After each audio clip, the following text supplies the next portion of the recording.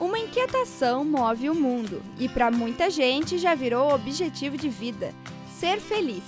Mas felicidade não é uma ciência exata, não tem receita e nem o mesmo significado para todas as pessoas. Eu acho que felicidade é uma é momentâneo, sabe? Não é uma coisa fixa. Você tem picos de felicidade, não existe um negócio estável. Bom, felicidade para mim acredito que é estar com as pessoas que eu amo, um ambiente de paz e tranquilidade. Felicidade é poder passar um tempo em contato com a natureza e também curtir um momento de lazer. Ou ainda estar rodeado de pessoas. Cada um tem seu jeito. E você, já descobriu o que te faz feliz? Felicidade para mim é estar com gente que eu gosto, poder conversar, poder ficar tranquila sem ter preocupação. Tipo, quando me perguntam se eu estou feliz, eu penso em estar perto das pessoas que eu amo, da minha família, dos meus amigos. Mas também não é só isso. Quando você me abordou agora, eu estava num momento muito feliz sozinha, deitada na universidade, que é um dos ambientes que eu mais me sinto segura e tranquila, assim. Eu acho que é perceber que não só de coisas ruins é feito o mundo. Para a psicologia positiva, enxergar a vida de maneira mais otimista é o primeiro passo. O segundo é o autoconhecimento.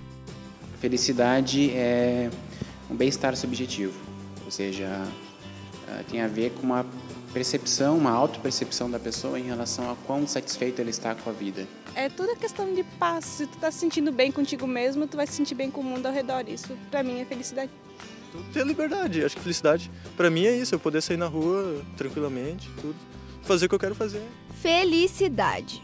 Segundo o dicionário Michaelis, é o estado de espírito de quem se encontra alegre ou satisfeito e traz um contentamento.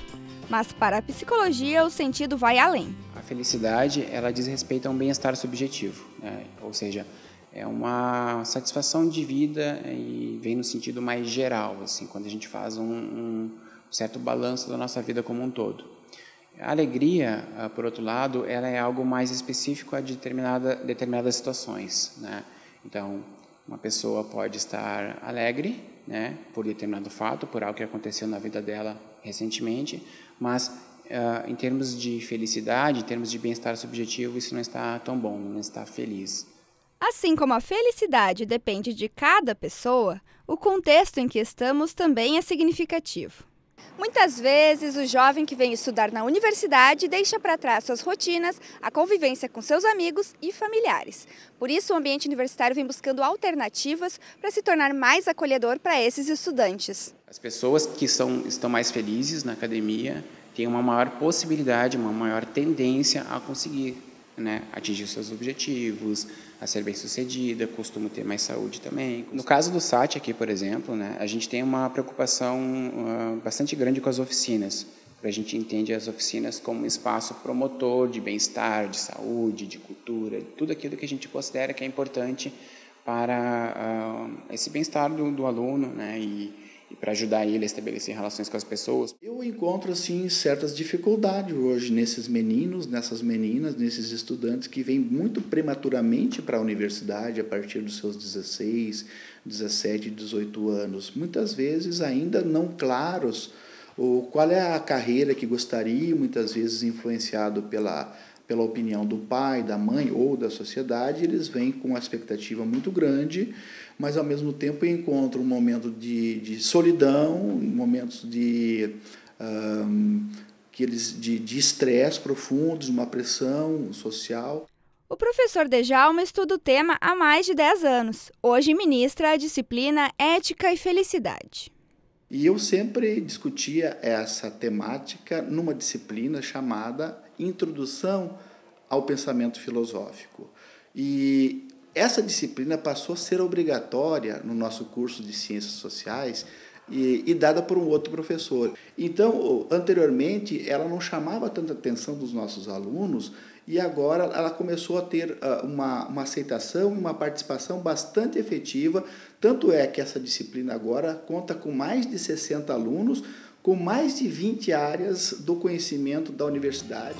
A compreensão da felicidade mudou ao longo dos séculos. Para os filósofos antigos, a subjetividade era o caminho para ser feliz. Mas hoje vivemos em um mundo objetivo, bem diferente do retratado por Aristóteles, por exemplo.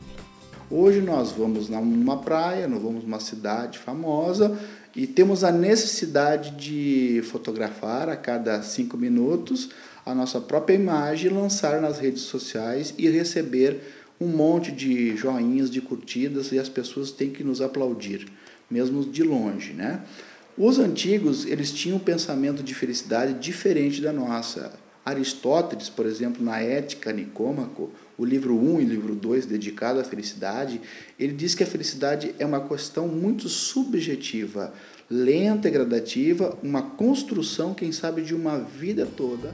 A felicidade é estudada por uns, almejada por outros e até questionada, mas ela segue existindo em suas diversas formas. O importante é você descobrir o que, afinal de contas, te faz feliz.